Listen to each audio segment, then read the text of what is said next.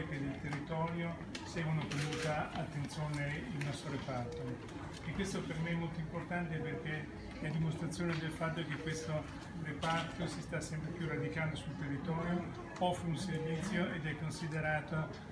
un patrimonio di questo territorio, non un qualcosa di staccato. Eh, noi ci teniamo molto a questa collaborazione e questa collaborazione sta diventando sempre più essenziale per permetterci di stare all'avanguardia eh, con le tecnologie e per poter portare avanti un programma umanitario di interventi eh, anche su eh, bambini che vengono da fuori Italia, da dei territori eh, in guerra o comunque eh, svantaggiati.